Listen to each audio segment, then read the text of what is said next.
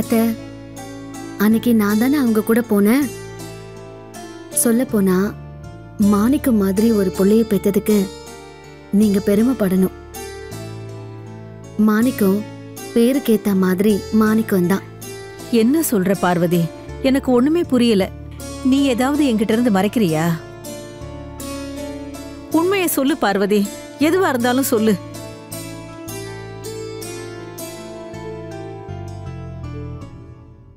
அத்தை மாயாவுக்கு தான் குழந்தை பெத்துக்கிறதுல ஒரு சின்ன குறை இருக்குன்னு டாக்டர் டெஸ்ட் பண்ணி சொன்னாங்க.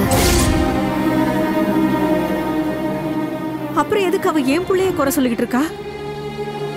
கேட்டதுல இருந்து என் மனசே தாங்கல.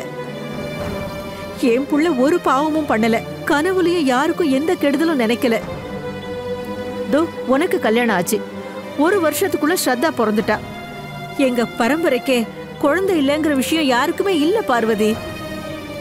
அன்னைக்கு என்ன நடந்துச்சு? கொஞ்சம் தெளிவா சொல்லு. அன்னைக்கு டாக்டர் மாயாவை செக் பண்ணிட்டு மாயாவுக்கு தான் குழந்தை பெத்துக்கிறதுல ஒரு சின்ன குறை இருக்குன்னு சொன்னாங்க.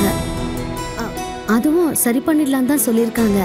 அதுக்கான மருந்து மாத்திரையெல்லாம் கொடுத்துருக்காங்க.